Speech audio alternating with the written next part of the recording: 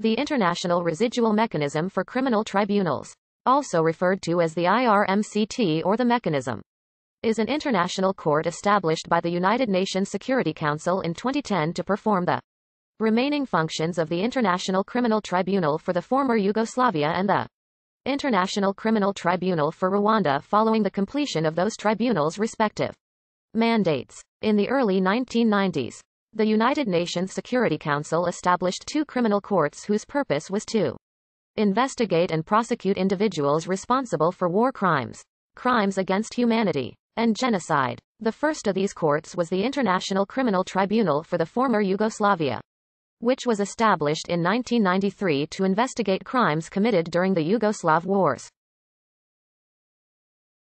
The Second Court, the International Criminal Tribunal for Rwanda, was established the following year to address crimes committed during the Rwandan genocide.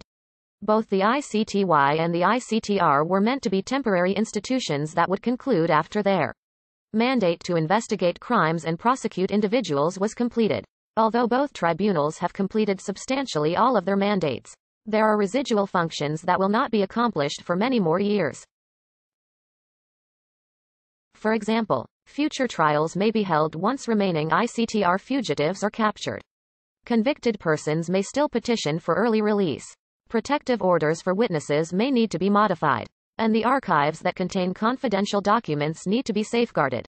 In order to oversee the residual functions of the ICTY and ICTR in an efficient manner, the Security Council passed Resolution 1966 on the 22nd of December 2010, which created the mechanism. In Resolution 1966, the Security Council decided that the mechanism shall continue the jurisdiction rights and obligations and essential functions of the ICTY and the ICTR. The Security Council further envisioned that the mechanism would be a small, temporary and efficient structure, whose functions and size will diminish over time. With a small number of staff commensurate with its reduced functions, the mechanism will continue to operate until the Security Council decides otherwise.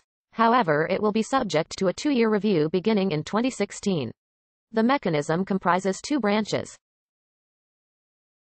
One branch covers functions inherited from the ICTR and is located in Arusha, Tanzania. It commenced functioning on 1 July 2012. The other branch is located in The Hague, Netherlands and began operating on 1 July 2013.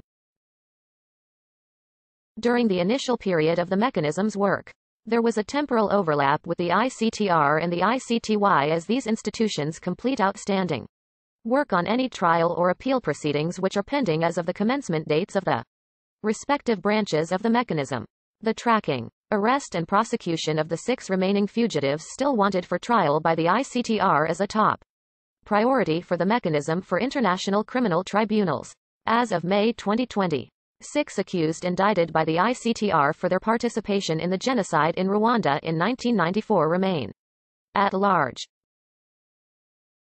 Under Article 6 of its statute, the mechanism shall only retain jurisdiction over those individuals considered to be the most responsible for committing the gravest crimes.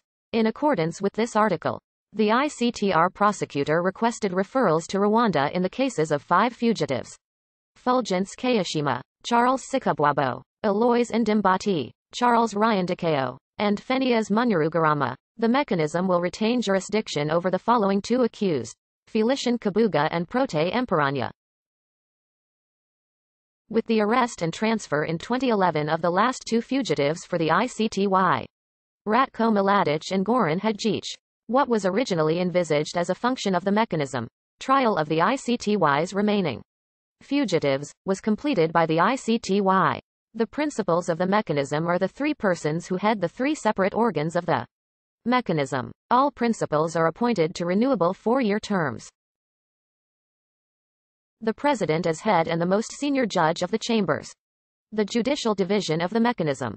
The president is appointed by the Secretary General following consultations with the president of the Security Council and the judges of the mechanism.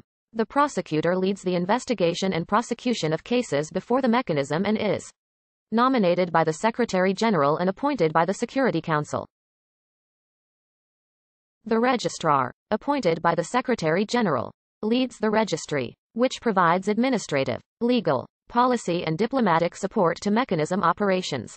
The judges of the mechanism are elected by the General Assembly from a roster prepared by the Security Council following nominations from member states of the United Nations.